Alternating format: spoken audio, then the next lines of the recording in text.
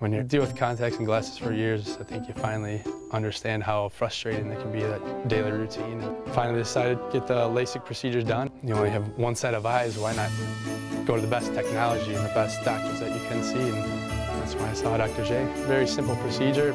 It took no longer than an hour. didn't even feel like I had a surgery done. It's just so exciting. It's the closest thing to a miracle that you could think of. The time has come to simplify your life. Start with your free LASIK screening exam at Lakeshore Eye Care Professionals. No more glasses for me.